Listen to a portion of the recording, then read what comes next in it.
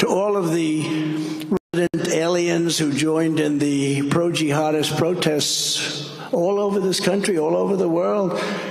This month, come 2025, you will find that we will deport you because these are people that are against our country.